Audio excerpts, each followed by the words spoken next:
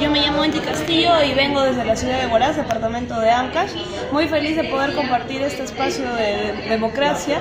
Eh, el año pasado fui parlamentaria joven, así que estoy muy agradecida y feliz también de compartir ahora el Parlamento Universitario.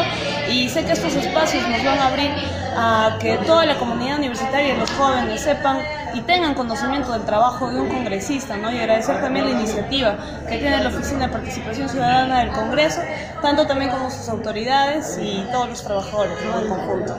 ¿Por qué es importante para ti participar en estos programas? Eh, porque nos inserta de alguna manera en el ejercicio democrático y como ciudadanos, ¿no? bajo todos nuestros derechos que conforman eh, parte nuestra de la población.